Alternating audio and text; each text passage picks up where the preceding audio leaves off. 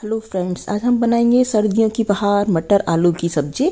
और बिगनर्स के लिए तो बहुत ही इजी है रेसिपी बनाना ये। आप इस सब्ज़ी को किसी भी रोटी, पूरी, पराठे किसी के साथ भी खा सकते हैं एंजॉय कर सकते हैं। इसके लिए मैंने ये तीन मीडियम साइज़ के आलू लिए हैं बॉईल कर लिए हैं और इनको इस तरह के पीसीज में काट लिया है। और उसके साथ ही मैंने लिए एक बाउल मटर, जो बॉयल मटर है।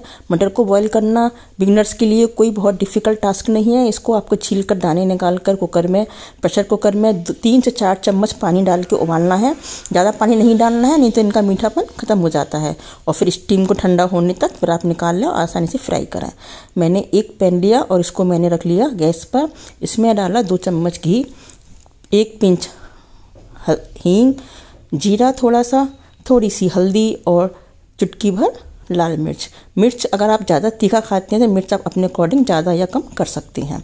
और उसके बाद मैंने डाले इसमें आलू और आलू से पहले मैं डालूँगी इसमें हरी मिर्च और अदरक। अदरक को मैंने काट, कट किया हुआ है बारीक पीस में।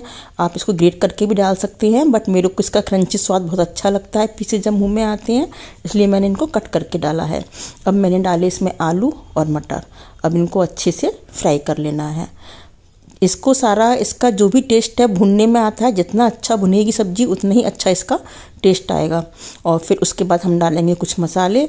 इसमें डाला मैंने सूखा धनिया और उसके साथ ही कुछ गरम मसाला थोड़ा सा। थोड़ी सी मैंने डाली इसमें खटाई, अमचूर पाउडर और नमक। नमक हमें डालना है स्वाद के अनुसार। आप कम ज़्यादा जैसा भी खाते हैं, वैसा आप इसमें नमक डाल सकते हैं और फिर इसको मिक्स कर देना है, अच्छे से चलाना है। फ्रेंड्स अगर आपको मेरा वीडियो अच्छा लग रहा है, इसको लाइक और सब्सक्राइब ज़रूर कीजिए और इसको शेयर भी करते रहिए अपने फ्रेंड्स के साथ में और इसको, और अब इसको अच्छी तरह से भूनते रहना है। भूनने के बाद इसमें हम डालेंगे हरा धनिया। धनिया मिलाकर हम इसको चला लेंगे अच्छे से। काफ़ी अच्छे से बुनाई होने के बाद सब्ज़ी की कलर बहुत अच्छा हो जाता है और खाने में भी बहुत टेस्टी लगती है।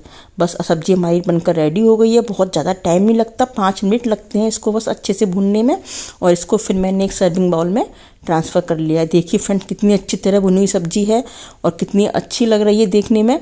और मेरे को लग रहा है जितनी देखने में अच्छी, उतनी खाने में भी अच्छी होगी। आप भी ज़रूर बनाएँ, ट्राई करें और टेस्ट करें। और मेरे को कमेंट बॉक्स में ज़रूर बताएँ कि आपने अगर बनाई है तो आपको कैसी लगी ये सब्ज़ी। और मिलते हैं अगली वीडियो में। बाय